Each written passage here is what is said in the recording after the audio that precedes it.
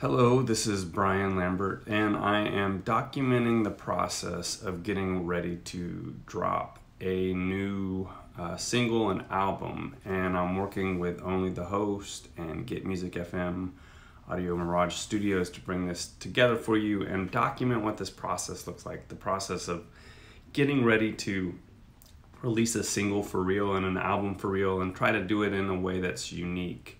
Um, the biggest part of this is building the audience. I think one of the things that most independent artists artists have a struggle with is the realization that that's something that they're going to have to do. Build your audience. And this process of releasing the music is one way that we do that.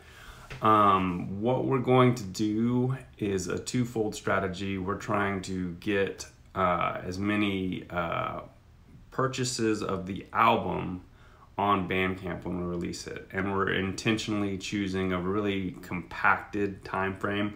Uh, we've released lots of albums and things, and so we have some institutional knowledge, so to speak, around how best to build uh, and do an album release. But we want to see if we can make the most impact as as possible, and we're focusing on Bandcamp sales because streaming is great and lots of people will eventually do it but really when you're trying to build an audience you want to build music fans and people who buy music are going to be better fans in the long run. They're not going to be necessarily the best fans but they're the ones that have already shown that they're going to support you financially and they're the more likely to buy your t-shirts and other things that you are um, trying to use to support yourself in merchandising. So we want to document this process and the the focus of it all is the idea of building the audience. What can we do?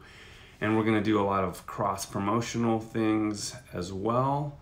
And uh, we want to share this information with you so that it will provide a little bit of a template for you in order as you go forward can't do the things exactly uh, that we do because what's really important is it's you, you the artist. If you're going to um, try to make a career out of it and sustain yourself with your art, the most important thing, in my opinion, is that you be yourself because there's mm, that's what you're in the end trying to present to to the audience is your actual self and that's what's going to make it unique and that's what's going to make it different from anyone else.